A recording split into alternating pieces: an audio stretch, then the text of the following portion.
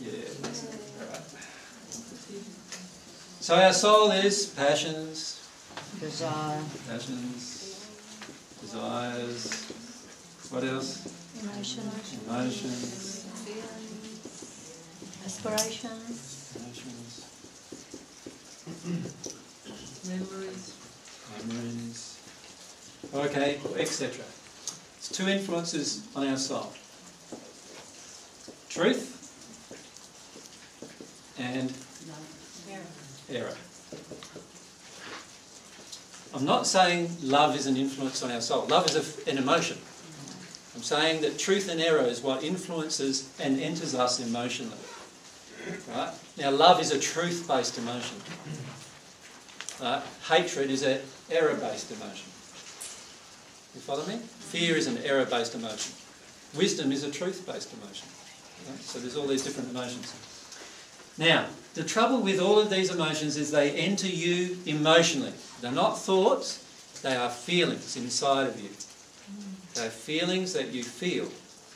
So, let's say when I'm one year of age, I'm screaming my lungs out because of something just happened to me, Mm. and my mother or fa- and father just leave me be and they Mm-hmm. don't even hold me.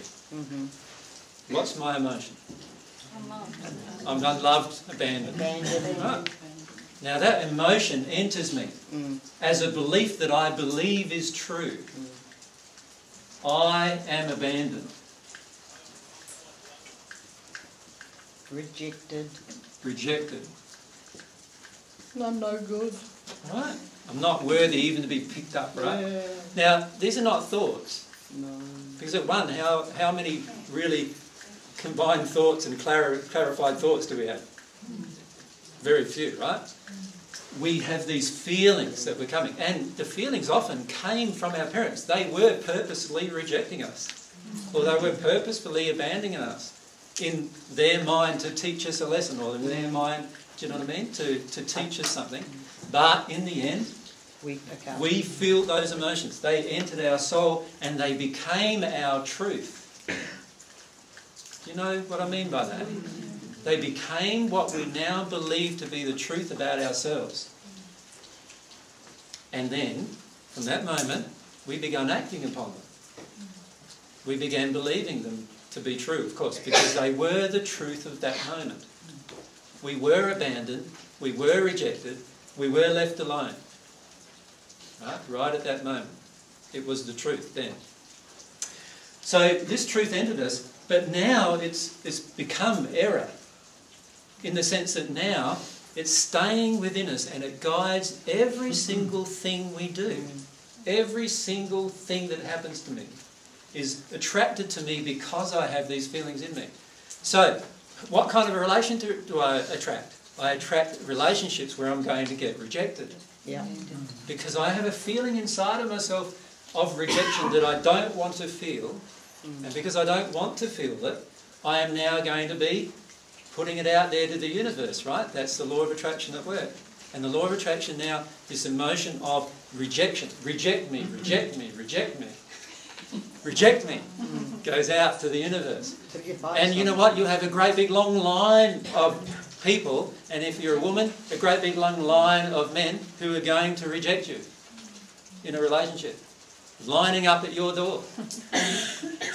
And you'll say, men are mongrels, men are mongrels. like, this is the fifth man that's rejected me, right? But what is Because we're still holding on to it. We're still holding on to this emotion of rejection. And we can't we don't need to condemn ourselves or judge ourselves for it. It happened in in a truthful environment. It happened it, it really happened to us at some point in our life where we were rejected, we were abandoned. Right? But now it's come to define our life. So quite often when I'm talking to people, I'm saying to them, you have this emotion or that emotion, and they feel that that's a judgment straight away. But if you could liken it like this, imagine your soul is a nice crystal ball, nice and clear. You imagine just a big crystal ball, you see straight through it, beautiful, all light flows through and is reflected by it. Imagine that. Then imagine someone comes along and throws a heap of mud at it. Right? Mm. What light gets through it now? Very, very little. Now, You need to decide that you're going to wash off the mud. You have control of that. It is your soul. It is your free will. Right? No one else can do that for you. Even the people who threw the mud at you can't take that mud off of you now. Right? You need to decide to do it because it's entered you as emotions in the soul that you now to believe to be truth. And that's where you're going to need courage to actually allow yourself now to experience those emotions that you locked up inside of yourself, which has become the mud that defines your life. Yeah? And when you do that, what will happen then is that you will have the ability to feel all of your own emotions without being afraid of any of them. Mm-hmm. And when you can do that, you can feel God's emotions without being afraid of any of them either. And then you have the ability to grow and become at one with God using that technique. Right? But if you decide that this mud defines you, you're going to become very attached to that mud. Yeah? And so when, I, when somebody says to you, oh, you know, Peter, you've got this little issue, you know, where, where you know, you're not very emotionally sort of connected with people. And what I do is I, hang a sec, he's talking about me, right? he's talking about me, and how, how, you know, how dare he do that? And what do we do then? Is we go ahead and just defend the castle that we've created, don't we? And so every single thing that comes across for it, law of attraction, every man that comes into my life in this case rejects me. So what do I do? Every new man I'm really suspicious of now. Right? He's going to reject me. He's going to. Re- I'm looking for times when he's going to reject me now, right? Aren't I? Because I am so now suspicious and so guided by trying to prevent this that I am actually now in the state where I'm trying to intellectually determine whether somebody's going to reject me. And you know what? The truth is, yes, he's going to reject you because of that emotion in you. That's the only reason why. Yeah. So is it then important to get back to the very first time that that belief came into your mind? Is that because if you're one, or maybe if you're only three months old, for instance, that happened, and you're working through, trying to work through those issues, is it important to actually know what instant that actually happened? I mean, Firstly, the belief did not enter your mind. right. The belief, the belief was an emotion that entered your soul. So, firstly, get that. Now, if that's the case, then the mind is really unnecessary, isn't it, in this process? Yeah.